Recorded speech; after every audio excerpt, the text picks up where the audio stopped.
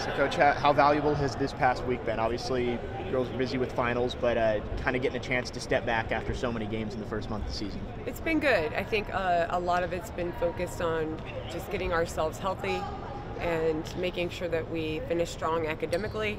Um, and then just playing a little bit freely, getting better at some things without the pressure of another game and having to prepare for that too quickly. So I think it's been great for everybody just to take a deep breath and um, and, and do what we love and uh, finish strong academically. It's been a nice week. It went by fast, so. Yeah. went by fast. Uh, after the Butler game, you mentioned how you always want to hang your hat on defense, and obviously did that in that game. Is there a positive message that you can relay to your team when you have a game where you don't hit a three pointer and still win by double digits? Is that something that you can kind of instill in your culture that we can win other ways than making our shots? Right. I I think it has to be because you're not going to make, you know, you're not going to make 12 threes every game. Even the pros, you know, go stretches without um, making a bunch of shots or without scoring, and, and that just is part of our game.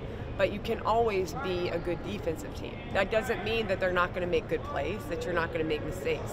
But in a game like Butler, the message is if we can bear down and get stop after stop after stop, eventually our offense will catch up. We'll figure out how to attack them. If we're not making open shots, we'll figure out how to get the shots that we need to make sure that we win the game. But if we can't get stops, then and we're not figuring that out quickly, then it's going to be hard to win games on the road, especially. So I think it, coming away from a game like that, where it just felt like a rock fight. I mean, we were both missing open shots. It was a low-scoring game. It, it was just kind of a a sludge of a game, then you, you just have to do what you have to do to, to make sure that you win the game. And I felt like our defense, specifically towards the end of the game, was really, really important for us doing that.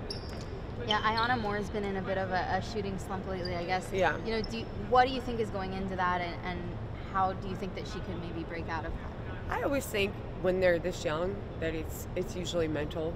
You know, you, you miss a bunch of shots and maybe they're open, maybe they're not, or you, know, you go long stretches without seeing the ball go through the net, then that can tend to get into young kids' heads. I think Iyana has grown um, from her freshman year when that happened. But it, it still happens. It happens to the best shooters in the world. And, and at the end of the day, that's another reason why I think the week off is good. You get into the gym, you just spend some time watching the ball go through the net. And then you cross your fingers and hope that your, your work pays off for you. Um, but that's why, again, it's not even just team wise, but individually, I want them to understand their value is more than making shots. And on a basketball team, your value has to be more than that because there will be days that you'll miss shots. And then it can't be that you bring nothing else to the table. We just talked about that in the circle. It has to be where, even if it doesn't show up on the stat sheet, there needs to be energy and effort, ability to listen and learn, to be a great teammate, to rotate defensively, to maybe take a couple charges. I think that's important, especially when you're going through a slump, because you can impact the game without making a shot. And if you can do that, then it takes the pressure off you to feel like I have to make shots for us to win. That's not usually the case on a good team.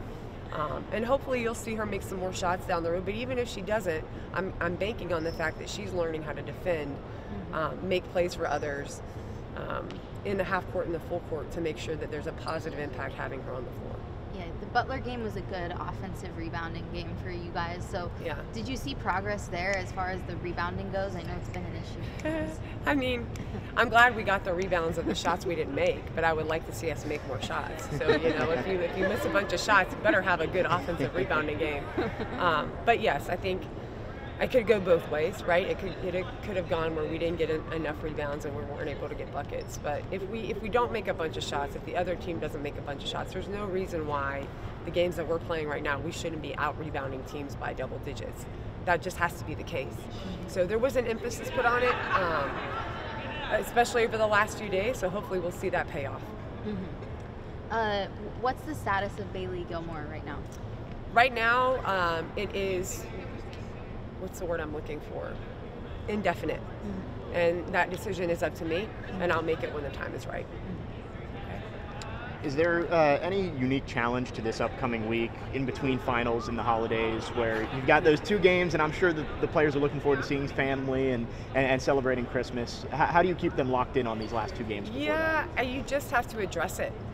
You gotta you gotta talk about the commitment that they've made to being here. Um, the fact that finals are over, everyone was really excited today coming to practice. We only have a couple kids with finals left today. but it's not time to go home yet. It's not time, you know, to sing Christmas carols and drink hot cocoa and eat all the things. We're not there yet. We still have some work to do. Um, and they understand that this is, you know, what we're doing right. This is a, the next few days are about business. They always say we stand on business. So I'm asking them to stand on business in the next few days so that we can really enjoy the, the break that we have with our family. All right, coach. Thank you for your time. Thank you Thank you, guys. Coach. Great to see you.